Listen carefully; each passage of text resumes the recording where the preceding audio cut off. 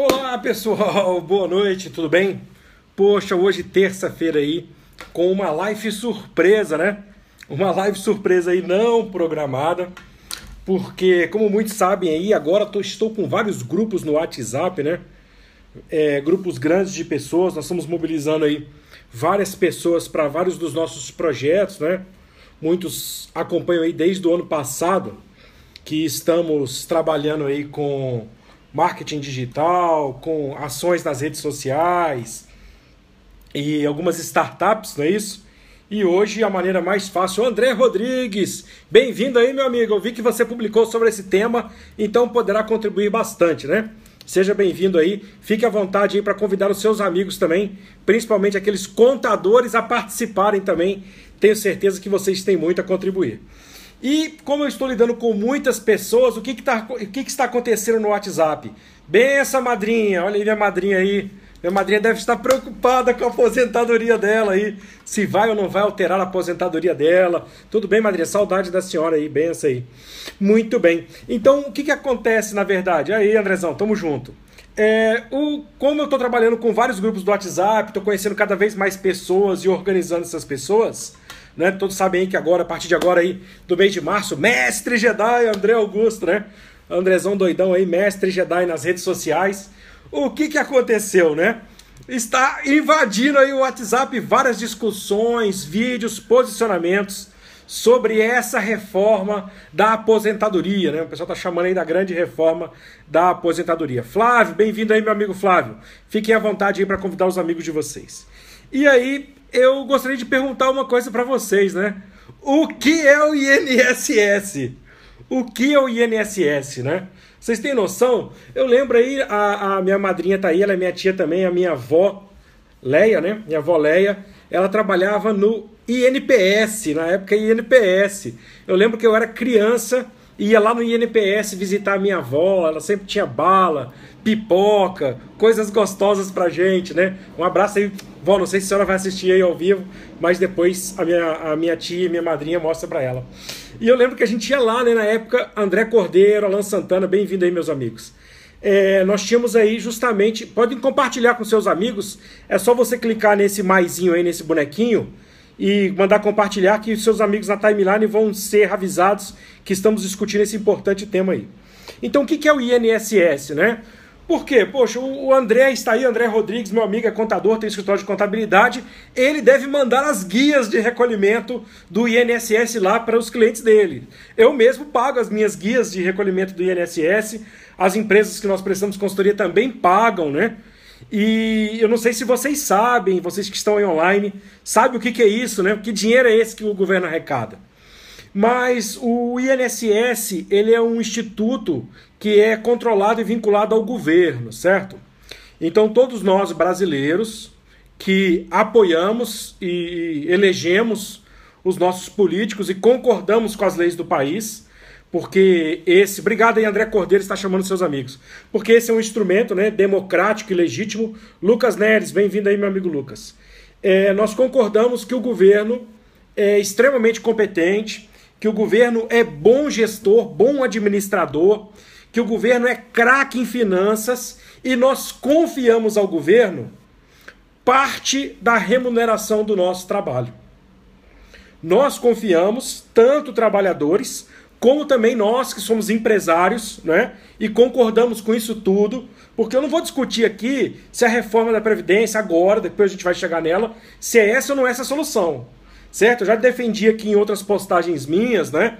É, a, a gente pensar, repensar sobre o modelo que nós queremos para o nosso país, sobre a competência daqueles que nós colocamos no governo.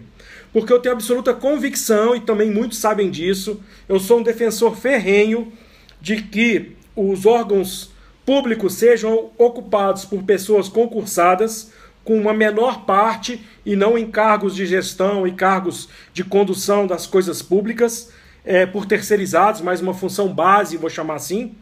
Mas extremamente importante que servidores concursados é, tenham a, as rédeas do país e não os políticos. Tá certo? E não aqueles que nós elegemos e devemos concordar, porque vocês aí que estão protestando contra a Previdência votam, né? Então vocês, eu voto também. Então, é, obviamente, o que eu votei é contra também e defende isso que eu vou falar aqui. Mas eu não sei em quem vocês votaram. E aí vocês têm que pensar como que vocês estão votando e como vocês estão escolhendo o voto de vocês. Então, o que, que acontece? Eu sou a favor de é, concursados públicos assumirem a gestão. Por quê? Gente, vou fazer uma pergunta aqui. É fácil ou difícil passar num concurso público? Vocês aí, não sei se tem alguém aqui, Rafael Ezequiel, bem-vindo. Olha só, temos contadores, temos advogados, temos aí empresários, já vi que entrou trabalhadores, muitas pessoas entrando, então vocês podem ajudar. É fácil ou difícil passar no concurso público? Difícil, principalmente cargos mais altos e mais cobiçados.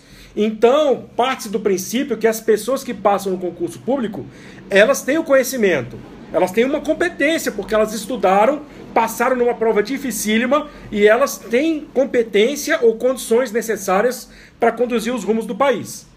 Então, o INSS, sendo ele uma instituição é, controlada pelo governo, nós, trabalhadores e nós, empresários, confiamos uma boa parte do que nós não colocamos no bolso ao governo, certo? Nós damos esse dinheiro, vou colocar entre aspas, nós recolhemos, nós damos entre aspas esse dinheiro ao governo. E por que que nós damos esse dinheiro ao governo? Vocês têm alguma noção por que, que o INSS arrecada e por que, que o INSS é o responsável né, por nós confiarmos esse dinheiro ao INSS? Bem-vinda, Rosane, bem-vinda aí à nossa live. Bom, ajudando vocês nesse questionamento, é porque nós acreditamos que o governo vai administrar bem esse dinheiro, vai cuidar bem desse dinheiro, de modo que quando você aposentar ou na decorrência aí da sua atividade laboral, ou usando uma linguagem mais fácil, enquanto você estiver ativo e trabalhando, se acontecer um acidente, se acontecer alguma coisa e você não puder exercer uma atividade remunerada, né? O, N, o INSS que administra esse dinheiro aí de forma competente, né, muito bacana, bem estruturada, são experts em administração de dinheiro, né? Eles vão é, proporcionar a você na sua aposentadoria uma renda para que você não tenha dificuldade, ou no transcorrer da sua vida aí, se você tiver uma doença laboral, se eu não me engano, o doutor Rafael Ezequiel está aí, nosso amigo advogado, doutor Rafael, eu creio que são 12 tipos, né? salvo minha memória, são 12 tipos de contribuições entre aposentadorias, benefícios, pensões e auxílios que saem do tesouro do INSS, tá certo? Então, você contribui mensalmente as empresas contribuem, em vez de botar o dinheiro no bolso para cuidar da sua família, para você planejar o seu futuro e você fazer as suas reservas, você entrega a competência do governo, que é extremamente competente, né? Que é muito bom de administrar dinheiro, né? Craque, né? Visto aí a última presidenta que saiu, ela é craque em fazer orçamento e cumprir orçamento. São muito bons nisso, né? Para não dizer o contrário. Então, você vai fazer o quê? Você vai confiar eles, certo? Consequentemente, ele tem que administrar bem o dinheiro para que você possa lá na frente, precisando receber. Todo mundo entendeu isso? Beleza, esclareceu legal. Quem tiver opiniões complementares, pode postar aí nos comentários, tá certo? Ou depois que acabar a live, ela vai ficar na minha página aí. Vai dar uma discussão enorme, mas nós vamos aí conversar. É através do debate que há crescimento de ideias. O que eu fico muito preocupado são pessoas que às vezes não têm esse conhecimento, fica copiando e colando no seu Facebook, ou fica copiando e colando no seu WhatsApp um monte de coisas que recebe sem procurar o conhecimento ou entendimento da causa das coisas. Certo? Nós temos que pensar na causa das coisas, ok? Muito bem. Próxima pergunta poderosa, né? O que é uma pergunta poderosa? Não sei se vocês acompanham aí as minhas outras lives, se acompanham aí a Escola de Líderes, né? Ou aqueles que fazem a Escola de Vendas, é, Produtividade Extraordinária, vários cursos que nós temos aí. O que é uma pergunta poderosa? Alguém arrisca a dizer o que é uma pergunta poderosa? Bom, uma pergunta poderosa é uma pergunta que leva a gente a pensar sobre determinada situação e quando você não consegue responder bem essa pergunta, é interessante que você busque o conhecimento para que você saiba responder essa pergunta, beleza? Tranquilo? Pergunta poderosa, né? Muito bem. Quanto o INSS, esse INSS que é de responsabilidade, é, é, é controlado pelo governo, quanto que ele paga mensalmente, né? Mensalmente, quanto que ele paga mais ou menos de benefícios, aposentadorias, né? Desses tipos aí de benefícios. Vocês têm noção quanto que ele paga mensalmente? Alguém arrisca aí. Edileuza, mais uma contadora. Edileuza Guiar, minha amiga Edileuza Guiar, contadora, professora de contabilidade, bem-vinda aí. Tenho certeza que pode contribuir muito com esse tema, certo? Se quiser convidar aí seus amigos contadores, seus alunos, ex-alunos, seus amigos empresários ou trabalhadores, basta aí, Edileuza, bater o dedo aí no maisinho e convidar aqueles aí da sua timeline para saber que nós estamos discutindo esse importante tema. Bem-vinda. Então, a pergunta é, né, pergunta poderosa, quanto se paga mais ou menos? Olha, as estimativas que eu pesquisei são cerca de 16 bilhões de reais por mês. O INSS, certo? Injeta mais ou menos 16 bilhões de reais por mês na economia do Brasil. Ou seja, se o INSS pagar, parasse de pagar esses benefícios, nossa, isso aí, André Rodrigues. 8 a 11% do recolhimento do funcionário, 11% da parte patronal. Dependendo do, do, do, enquadramento da empresa, né? A, o patronal pode chegar até mais, não é isso, André? Pode chegar bem mais também. Beleza, isso aí. Obrigado aí, ó. Os contadores são bacanas aí, vai ajudando. Então são 16 bilhões. O que, que aconteceria se o INSS parasse de pagar os benefícios? Alguém consegue arriscar? Se o, se o INSS parasse de pagar 16 bilhões por mês para as pessoas no Brasil, o que, que ia acontecer? Nosso país ia entrar em colapso, gente. Por que entrar em colapso? A pobreza iria aumentar, a renda das pessoas iria diminuir e a circulação monetária da economia, não sei se temos aí algum economista, mas se tiver algum economista aí, principalmente que entenda né, de macroeconomia e de microeconomia, pode ajudar a gente, mas iríamos entrar num colapso, porque eu teria menos dinheiro circulando, uma pobreza crescente e o país iria afundar numa crise. Então o INSS não pode deixar de todos os meses pagar esses 16 bilhões nos seus benefícios, porque seria uma irresponsabilidade de qualquer governo, seja ele A, B, C, D, E, F, seria isso. Marcelo Soares, bem-vindo aí, meu amigo, também nesse importante tema. Fique à vontade aí, certo? Para bater o dedo aí nesse bonequinho que tem um maisinho e convidar seus amigos para esse importante tema, tá certo? Beleza. Então são 16 bilhões por mês, são mais ou menos 28 milhões de pessoas que recebem benefício. Então, 28 milhões de brasileiros recebem algum tipo, dos 12, se eu não me engano, né, algum tipo de benefício do INSS, que é uma instituição governamental.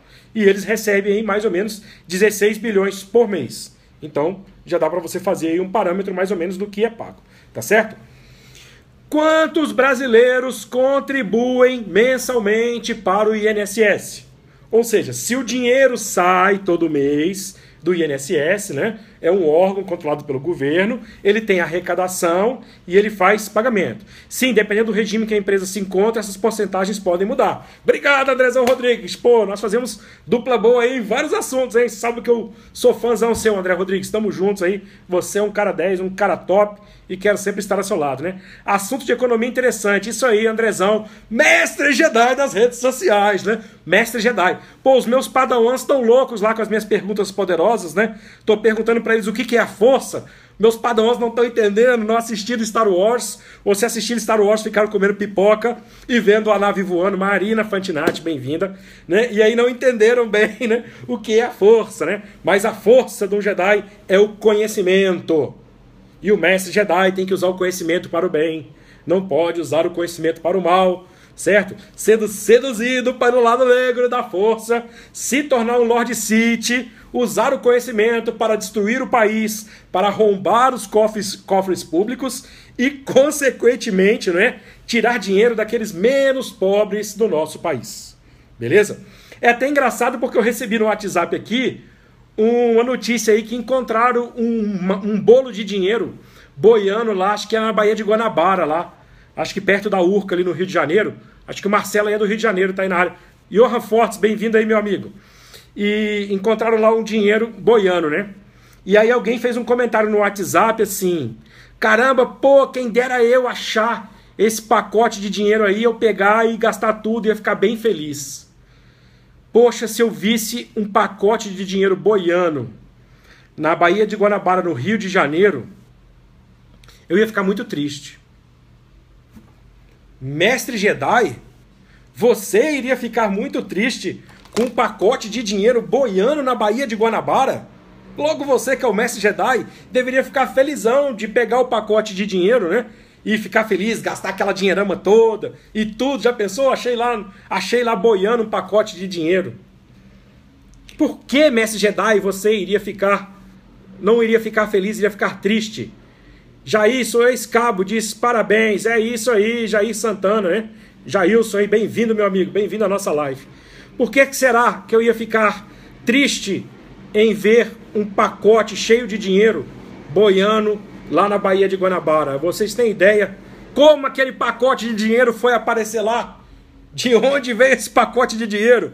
Será que foram os peixes que moram, os poucos peixes ainda, se a Bahia ainda estiver poluída? O pessoal do Rio aí, não sei se, se ela está, poluída ou depois da, da Copa do Mundo e das Olimpíadas, se deu uma melhorada, né? Se os pescadores ainda conseguem tirar peixes da Baía de Guanabara. Mas será que foram os peixes que juntaram o dinheiro? É, Johan. Pô, Johan Fortes. Johan Fortes aí é um padawan aí que já está aí ascendendo quase a mestre Jedi aí. Parabéns, Johan. Estou muito orgulhoso aí do seu desempenho profissional depois de passar aí um tempo aí lá no nosso templo Jedi com o mestre Jedi, não é? Johan foi um excelente padawan. Tenho certeza que vai ter muito sucesso profissional. Aprendeu muitas coisas bacanas. Fico muito feliz, viu, Johan, com a sua evolução. É isso mesmo. É dinheiro corrupto. É dinheiro sujo. Certo? Alguém desovou esse dinheiro lá para não ser pego em flagrante. É dinheiro de crime, certo? É dinheiro de pessoas que efetivamente fizeram alguma coisa ruim, certo? Ganharam dinheiro às custas da população mais pobre e, consequentemente, jogaram essa grana lá. Tá certo? Então é um dinheiro que você não vai te dar tanta alegria assim de você ganhar, né? não vai te dar tanta alegria assim. Né? Nós devemos é ficar é, tristes e constrangidos com isso que está acontecendo no nosso país. Entenderam? É muito sério isso. Tem muita gente que, que gosta daquela lei né, antiga aí de se, dar bem, de se dar bem em tudo. Mas não é bem assim. Nós temos que nos dar bem por causa do nosso esforço, com honestidade, sem prejudicar as pessoas, sem ser um Lord City, né? sem usar aí o poder da força para o mal, sem ser seduzido pelo lado negro da força. Você precisa sentir a força e utilizá-la para ascender ao mestre Jedi, certo? A poder usá-la, usar essa força para o bem, para educar, ensinar, certo? E compartilhar conhecimento com as pessoas, para que as coisas mudem. Beleza?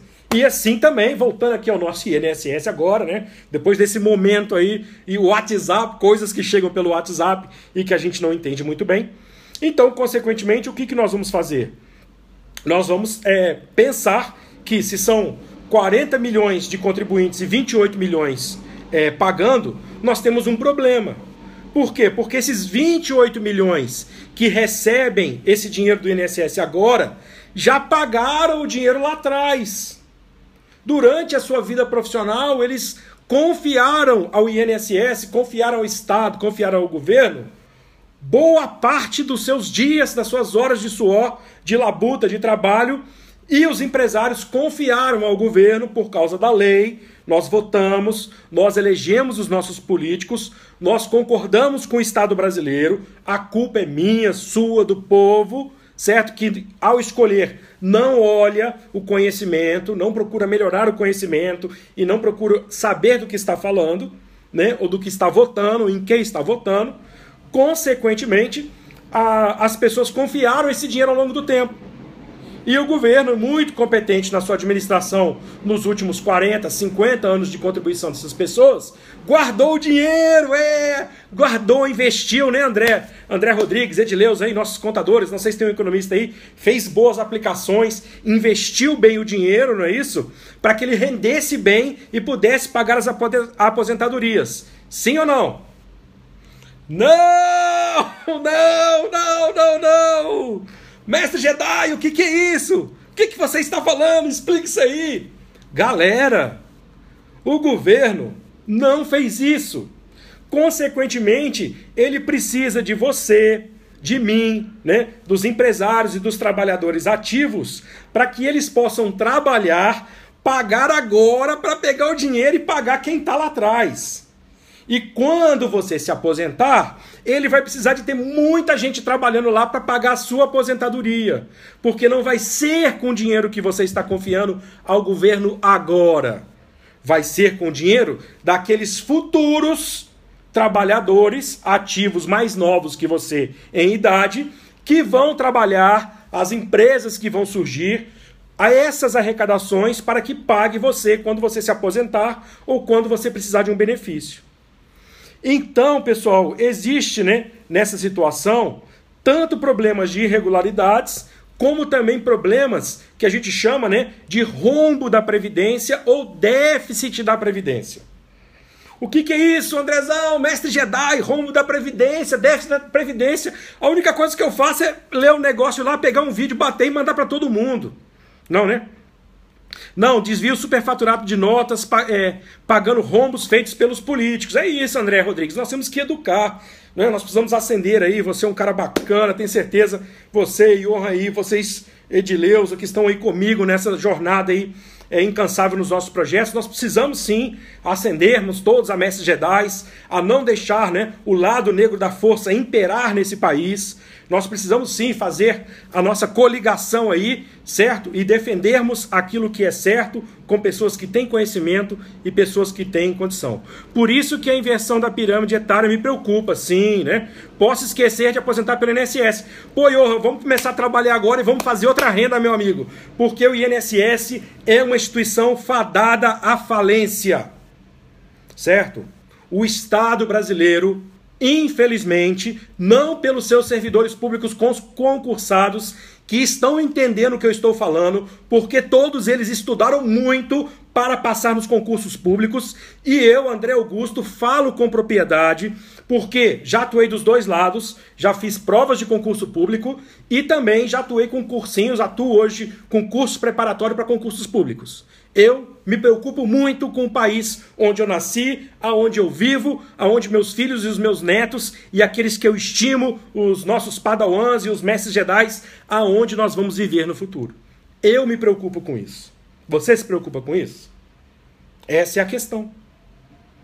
Certo? Não é só bater um dedo numa coisa que você vê no WhatsApp e sair passando, sem saber o que está acontecendo, por que está acontecendo e efetivamente de onde vem isso. Procure se informar, procure perguntar. Olha só, eu pesquisei aqui uma coisa interessantíssima, né? São mais de desses é, 28 milhões de brasileiros que recebem benefícios, 2 milhões não têm CPF registrado, um dado de 2009, e cerca de 1,2 milhões, 1 milhão e 200 mil, com erros no nome.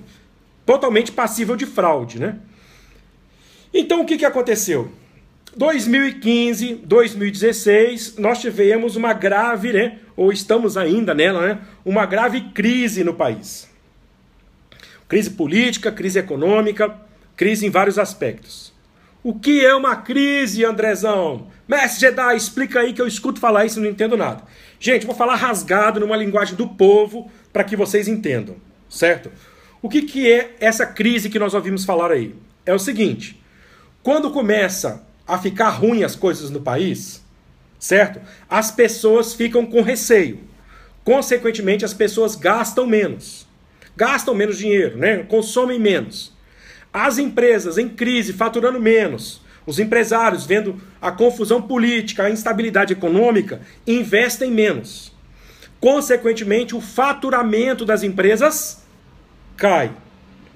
As empresas faturando menos e tendo uma receita menor e uma despesa maior, elas não são igual ao INSS, que podem ter um rombo, né, arrecadar pouco e pagar muito e dar um buraco, não ter de onde tirar o dinheiro. Então o que, que a empresa faz? Porque os empresários normalmente, eles se preocupam, né? Os empresários sérios se preocupam para que possam é, garantir o salário das pessoas e não entrar numa, numa crise junto e afundar a sua empresa. Então eles reduzem custos. Ao reduzir custos, eles cortam salários, eles demitem. Quando ele demite e reduz o seu custo compatível com o seu faturamento, essas pessoas vão desempregadas para o mercado de trabalho, consequentemente sem renda, compram menos, consomem menos, as empresas vendem menos, gera mais desemprego e aí envolve um ciclo horrível. Um ciclo horrível. Pessoal, o que, que aconteceu 2015 e 2016? Aumentou ou diminuiu o desemprego? Alguém aí que está ouvindo ou que vai ver esse vídeo na repetição tem alguma noção sobre isso? O emprego aumentou ou o emprego diminuiu? Bom, se você está acompanhando aí, assistindo as reportagens, não interessa se é na rede A, na rede B, na rede C, no jornal, no, no, seu, no seu celular, ou na televisão, nos telejornais, não é? ou nas rodas de conversa, muitos devem estar percebendo que os indicadores econômicos demonstram que o desemprego vem aumentando. Pessoal, se o desemprego está aumentando e as empresas estão demitindo, o INSS, que é gerido pelo governo, que não fez uma boa administração passada dos recursos dessas pessoas que estão aposentadas, né, que pagaram, jogaram o dinheiro aqui, certo? Então hoje ele precisa arrecadar para pagar as contas do mês. É como se você tivesse que trabalhar todo mês para pagar o almoço, a janta e as despesas da sua casa, porque você não tem uma reserva para pagar com as suas economias e trabalhar para juntar mais. Qualquer semelhança com os brasileiros é mera coincidência, né? Mas com isso tudo, o que, que aconteceu? É, pessoal, aumentou o rombo da Previdência. Isso mesmo, André Rodrigues. Então, em 2016, o déficit da Previdência, eu pesquisei aqui, ó, chegou a 149 bilhões de reais. A Previdência, o INSS, pagou 149 bilhões a mais do que ele recebeu. Olha só o que aconteceu. A arrecadação diminuiu, mas o número de pessoas que continuam recebendo aposentados benefícios aumentou. Então existe um déficit nesse órgão, que é o INSS, né? nesse tesouro aí, nessa economia desse órgão, que o governo administra isso, tá certo? Que está com um rombo de 149 bilhões. Isso corresponde a 74% de crescimento no, no rombo em relação a 2015. Pessoal, é assustador. Não adianta a gente falar que vai tirar um presidente, vai colocar outro, que vai tirar um político, que vai colocar outro, que isso vai resolver. Não é uma pessoa, não é, não existe um alguém com, né, nem um, o, o power das mestre Jedi power top das galáxias que sozinho vai dar jeito nesse país. Esse país só vai mudar e o futuro desse país só vai ser melhor se você que está escutando esse vídeo, se você que está aí ouvindo isso, certo? Parar de ficar batendo o dedo no WhatsApp com tudo que você recebe e passando para frente sem procurar saber das coisas. Sem você buscar mais conhecimento, certo? Estudar, conversar, debater, ler, ouvir opiniões, certo? E, consequentemente, nós começarmos a escolher melhor as pessoas que nós colocamos no país? Quando todos nós mudarmos. Isso mesmo, Edileuza. Por isso que você é professora, por isso que eu sou professor. João Henrique, meu amigo João Henrique, bem-vindo aí. Um prazer receber você aqui. E por isso que a partir de agora em março, certo? Eu me tornei o mestre Jedi das redes sociais. Porque eu não vou ficar quieto. Né? Se tudo que eu tenho e que eu é, consegui com os meus mestres Jedi que me ensinaram sobre conhecimento, certo? Eu estou disposto a compartilhar com aqueles que me seguem. Aqueles que me seguem para usar a força para o bem, não para ser seduzido pelo lado negro da força. E utilizar o conhecimento para explorar aqueles que não tiveram contato com a força, com o conhecimento.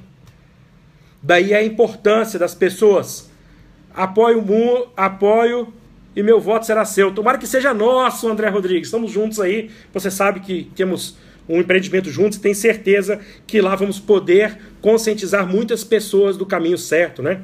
De tudo isso. Então o que, que acontece? Né? Nós precisamos é, tomar o poder nesse país. Esse país tem que ser liderado por pessoas que tenham a consciência de usar o conhecimento, de usar isso para o bem, valorizar o servidor público concursado que estudou, está entendendo bem isso que eu estou falando, certo? Que recebe um bom salário e que temos que dar a ele poder, não para ele ficar mendigando, certo? Mendigando gratificações por políticos e pessoas biônicas que são colocados no poder do Estado. Certo? Tem que acabar isso no nosso país. Não vote em políticos que vai, que vão pegar lá a sua base de pessoas que não entendem bulhufas de administração pública e vão colocar essas pessoas no poder. Não desperdice o seu voto, porque isso vai contribuir cada vez mais para a ingerência pública e para o caos no nosso país. Não interessa se é A, B, C ou D que está à frente, se é o partido X, o partido Y ou o partido Z. Não importa isso. O que importa são os valores das pessoas, independente das suas crenças ou independentes das suas concepções filosóficas de poder. Certo? Isso é muito sério.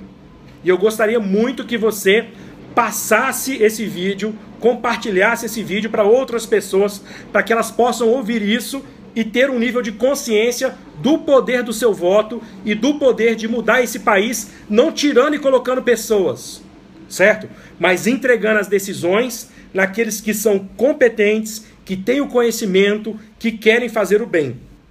E não sendo seduzido pelo lado negro da força. Não se torne um Lord City. Não vá achar, achar legal encontrar dinheiro boiando, certo? Em algum lugar porque alguém descartou aquilo para evitar o flagrante ser preso porque cometeu e desviou e tirou um dinheiro que poderia ser aplicado em prol de uma população carente, uma população mais pobre. Isso é muito sério. Certo? Então, independente, não vou julgar aqui se a reforma da Previdência vai ser boa ou vai ser ruim. Certo? Espero que todos que estejam assistindo esse vídeo possam buscar mais conhecimento, entender a realidade do país e formar a sua opinião. Não sou o dono da verdade, certo? Sou apenas um mestre Jedi buscando compartilhar a força com vocês. Ok? Mas eu gostaria muito que vocês pensassem. Do jeito que está, certo? Com esse rombo na Previdência, boa parte desse rombo da Previdência vindo justamente né, da parte rural da Previdência, afinal de contas, muitos trabalhadores trabalharam muito tempo na zona rural e, consequentemente, agora se aposentaram, não é? e hoje a arrecadação do comércio, do serviço, da indústria é maior do que era rural. Então temos esse problema também histórico, né? de linha histórica de desenvolvimento econômico do país, de decisões nos últimos 500 anos que não foram muito legais, de conduções que não foram muito legais no país. Então, se nós continuarmos nisso, o rombo do PIB ele vai subir aí da casa de 3, 4, 5% para cerca de 18% do PIB até 2060. Ou seja, 2020, 2060, daqui a 40 anos, eu vou estar tá aí com 83 anos, né, 84 anos, espero estar tá vivo ainda, e vou atingir essa realidade. Um rombo vai se transformar num buraco negro da Previdência. Não vai ser mais rombo do INSS, vai ser buraco negro do INSS, sugando tudo, vai implodir. Ou seja, o modelo econômico instalado, caótico, né, por uma série de ingerências administrativas, de decisões com o dinheiro que os trabalhadores confiaram para suas aposentadorias e mais a situação é, é, crítica que eu aponto aqui, reconheço, da parte rural do país, certo? E mais a crise agora ocasionou isso. Então não tem como, daqui a, a 40 anos, os trabalhadores ativos sustentarem nós todos que vamos aposentar, gente. Pare de entregar o seu futuro e o seu dinheiro à competência do governo. Pare. Pare de acreditar que se tivermos muitas pessoas sem conhecimento, ignorantes, que não descobrirem o lado negro da força, que forem massacradas socialmente e não conseguirem entender as coisas e simplesmente votarem certo? Por critérios que não são os melhores para escolher os governantes, se continuarmos apoiando um Estado grande, um Estado lotado, um Estado que faz a sua base em termos né, de, de é, proporcionar às pessoas uma subsistência, mas não a melhoria do conhecimento e a evolução tecnológica, de habilidades profissionais que as pessoas precisam para terem sucesso, nós não vamos tirar o nosso país dessa situação. Não vamos. Depende daqueles que têm e conhecem a força. Tanto os mestres Jedi que estão me ouvindo, como você e também Padawan, que sentiu a força, que entende isso e precisa ascender a um mestre Jedi. Você precisa, porque daqui a 5, 10, 15, 20, 30 anos o nosso país vai precisar de você. Você vai ser chamado, você vai ser convocado e você vai precisar ajudar esse país. Então você precisa evoluir, você precisa melhorar, você precisa ter alternativas para que a sua renda futura venha do seu trabalho, do seu sucesso, e nós todos juntos precisamos repensar o nosso país, repensar a nossa estrutura de Estado gigantesca, reduzir os tamanhos, na minha opinião, e, consequentemente, ter um Estado mais eficiente entregue aos servidores públicos competentes, concursados e que não foram seduzidos pelo lado negro da força. Isso é muito sério. Então, pessoal, sou eu, André Augusto, mestre Jedi das redes sociais compartilhando aqui com vocês essa live interessante sobre um tema. Espero que ajude vocês a não ficarem espalhando aí pelo WhatsApp coisas que às vezes você não entende bem o sentido. Procure debater mais na sua comunidade, na sua sociedade, na sala de aula que você frequenta, com a sua família. Procure se inteirar mais do que está acontecendo no nosso país e procure descobrir a força, o conhecimento, certo?